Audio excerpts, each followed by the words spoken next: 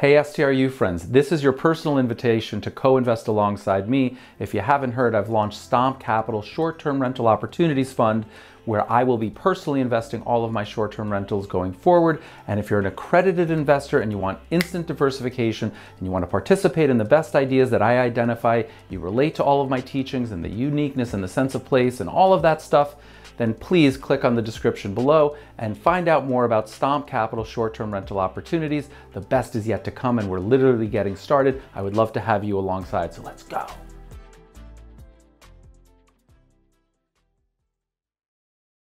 Hey, hey, hey, YouTube, what's happening? It's Richard, founder of Short Term Rental University and professional real estate developer. And today's video are the six things that you need to know when buying your next Airbnb or short-term rental? I get asked this question all the time, and so here they are. Six things you need to know right here, right now. Let's go.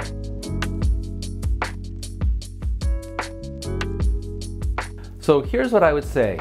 There is no actual magic formula to picking a short-term rental that's gonna cash flow and that's gonna generate like enough income and be a cash engine to fuel your growth. There are many ways for you to pick your own Airbnb or short-term rental that'll fuel like your personal satisfaction, where you want to go, and only you can really determine where you want to ski, which beach you want to go to, and that's kind of important. So this video has a little bit of both of those things, and the very first thing I'm going to suggest to you is any Airbnb or short-term rental investment property that you buy needs to be connected to your why. And what I mean by that is it has to serve a dual purpose. It has to be something that excites you and motivates you. And when times are tough and challenging, it still like draws you there, kind of like a loved child. You know, if they have a bad day at school, you still love them, you work through it, right? You're committed to it. If you're just buying this for income and it stops producing income, you're gonna get really fed up and frustrated. You might kick it to the curb. And real estate is not a get rich quick scheme. It's not something that you can do for a couple of days or a couple of weeks or even a couple of months and make a lot of money. The way that you generate real wealth in the short-term rental space and in all real estate is having a very long runway.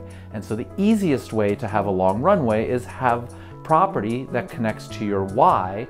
And what I mean by that is it's something that you would enjoy doing, something that you take pride in, an area that you love to visit, an area that maybe you visited as a child, a place you want to retire. I mean, there's a million different ways to have it connect to your why, but please don't do what many other people do and just view it as like an investment opportunity, which is cold and math driven and has nothing to do with it. You might buy a warehouse that way, you might buy a multifamily building that way, but when you move into the short term rental space, we have to view it through a different lens and it has to be connected to your why because you're attracting more people just like you. So if it attracts you for your why, chances are it will attract other people that have a similar why, and that becomes your tribe. So the first thing, make sure it connects to your why. The second thing, and this is super important, and I can't like stress this enough, is pick a place where it's legally allowed and taxed. Find a place that has connection to your why, that welcomes short-term rental hosts entrepreneurs, investors, and this is part of the community. And in an ideal world, they'll have a lodging tax, an overnight tax, a hotel tax, something like that, so that the community is actually invested side by side with you. You guys are partners in improving the community. That will really go a long way. Do not find a place that is like shady or gray or illegal or, you know, I always say this in my STRU lives the lack of law does not mean that it's lawful, it just means that it is yet to be regulated. So find a place that already has laws in place, and then we know what the guidelines are, what the sandbox is. We know how to be good citizens. We know how to play within the rules. So find a place that's already regulated, already encourages you to come and pay taxes and so on and so forth. And a little asterisk there, as much as I try to uh, pay as little in the way of taxes and defer taxes legally and all of that, in this particular case, I actually like paying taxes because it aligns me with the community, it improves the community, and at the end of the day, it's a pass through. I personally don't pay the taxes. My guests and residents pay that overnight or lodging tax. They pay it. So, two, find a legally regulated area that's connected to your why. Three, and this is really important and this is unique to the short term rental space, find a place that is, in fact, unique.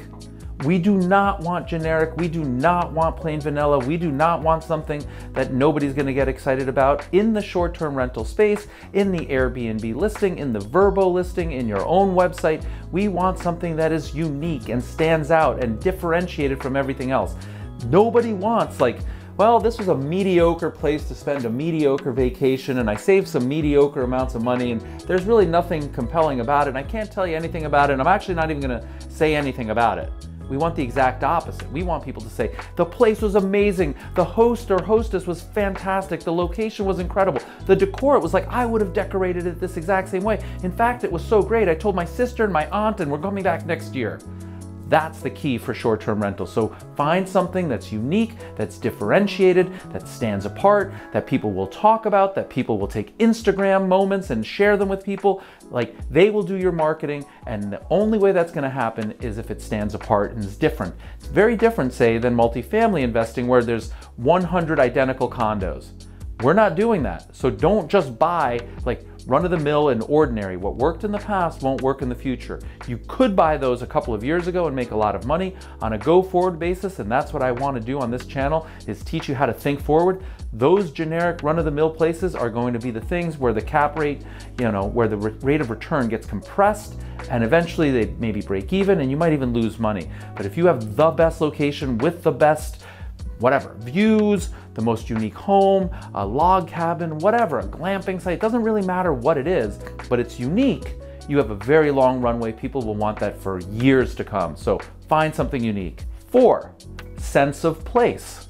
What does that mean exactly? When people are in your cabin, when they're in your condo, when they're in your house, when they're in your townhome, they must know where they are. So it can't be like clean and decorated, but I don't know whether I'm in Nashville or in Dallas or the Outer Banks or in Jackson Hole or in Costa Rica. So people are coming to your Airbnb, to your VRBO, they're booking directly with you because they are in this new community. Chances are they're either traveling or vacationing or doing remote work, but let's make them know exactly where it is that they are so that they have a sense of place.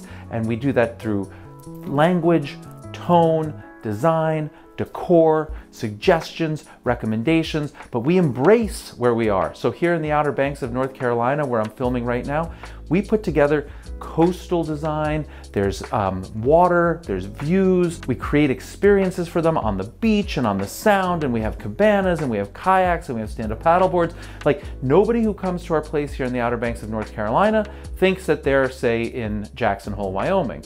And when they're in North Carolina, they also don't think that they're, say, in Florida or Orlando or anything like that. So try and really find a place that has a unique sense of place and embrace it and highlight it and bring it forward so that people know, wow, I had the best time ever in Dallas, in the Outer Banks, in Jackson Hole, but they know exactly where they are and you've given them wonderful suggestions so that they know what to do when they're visiting your community. Number five, a way to actually increase your uh, rate of return and your opportunity in this investment category is to find value added locations, value added homes, value added cabins, either that were needing repair or have yet to be like upgraded and to actually do that work. So whether you're renovating or you're custom building or you're changing the zoning or you're doing any of these value added strategies. Now there are more advanced strategies than, you know, perhaps a beginner should really tackle, but people are concerned about pricing at all time highs, Single family homes are at all time highs in most markets around the world. And so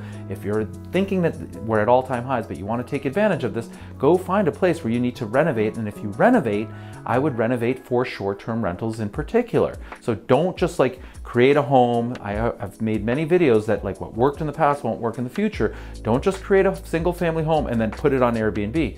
If you're doing the work and you're creating value added stuff, consider what a single family home that's specifically built for short-term rentals might look like. And so let me give you a couple of examples. Maybe your home is really into, you know, food, farm to table. And so would you have a bigger kitchen in a short-term rental?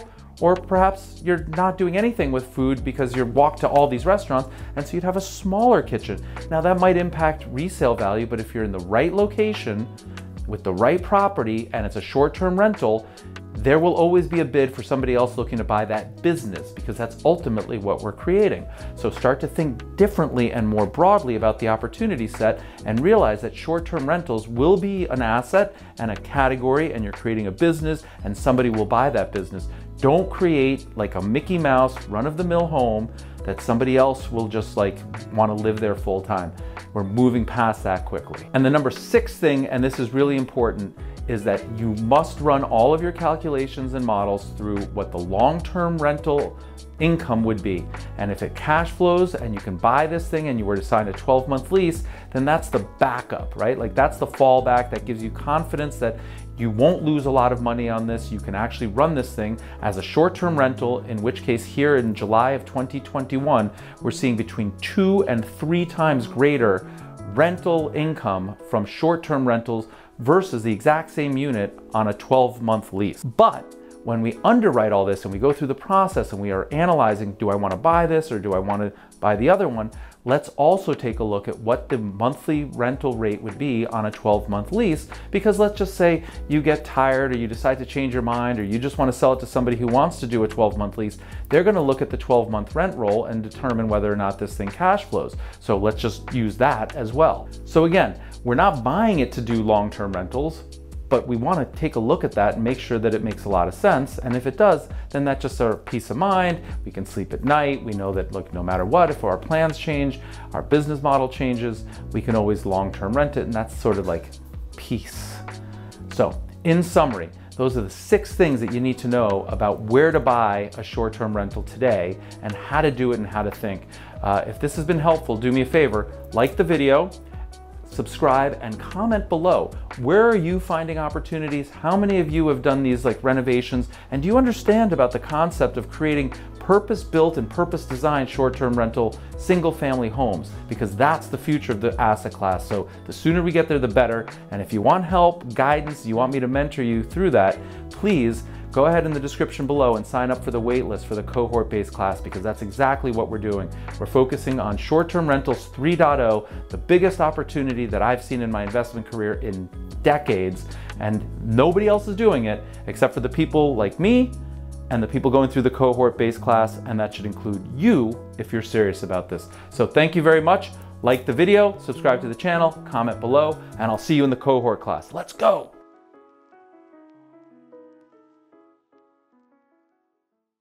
Hey STRU friends, this is your personal invitation to co-invest alongside me. If you haven't heard, I've launched Stomp Capital Short-Term Rental Opportunities Fund, where I will be personally investing all of my short-term rentals going forward. And if you're an accredited investor and you want instant diversification and you want to participate in the best ideas that I identify, you relate to all of my teachings and the uniqueness and the sense of place and all of that stuff, then please click on the description below and find out more about Stomp Capital short-term rental opportunities. The best is yet to come and we're literally getting started. I would love to have you alongside, so let's go.